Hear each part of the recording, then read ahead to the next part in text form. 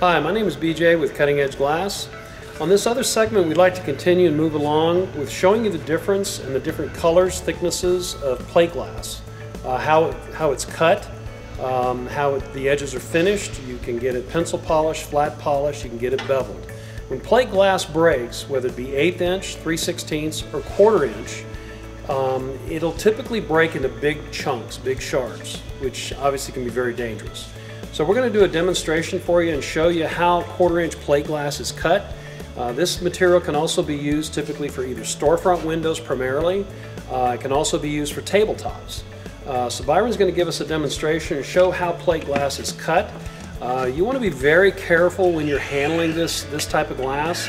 Um, it's, it's actually sharper than a razor blade. You can get cut and not even know it.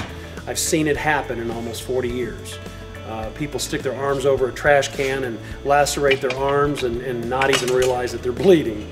Uh, so that's, that's pretty much it in a nutshell. Uh, the edges are extremely sharp when this happens. And the objective to, to accomplish a finished edge once this is all cut is to take a disc grinder or put it through the machine, which we have a two spindle polishing machine here. We can actually finish the edges for you for tabletops. Uh, the glass comes uh, clear, it comes bronze, and it comes gray. Uh, you have a variety of edge work that you can get done from, like I said, pencil polish, flat polish, half inch bevel, one inch bevel for tabletops. Uh, we can even get you 3 8 glass if you want to go a little heavier.